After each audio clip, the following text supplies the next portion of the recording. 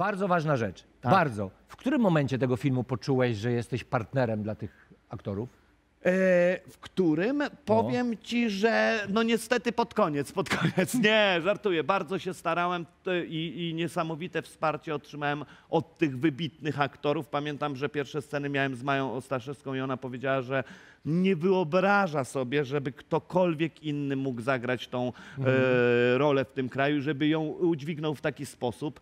Potem e, pod koniec, bo gdzieś nie ukrywam, to jest takie dziwne uczucie. Pracujesz u ojca, jesteś jego jakby no, pracownikiem i starasz się o tym zapomnieć.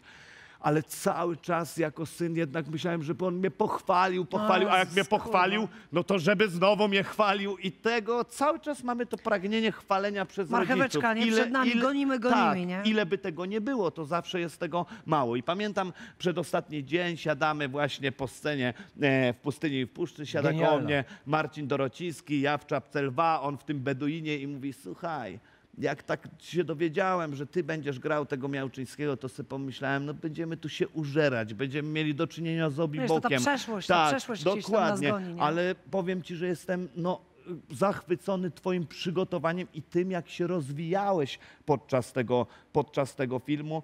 No i to jest niesamowita nagroda, bo to są dla mnie aktorzy, których całe życie podziwiałem. I, i nagle usłyszeć od nich takie słowa, no to nie ma, nie ma większego docenienia. Michał, no to witamy w dorosłym świecie.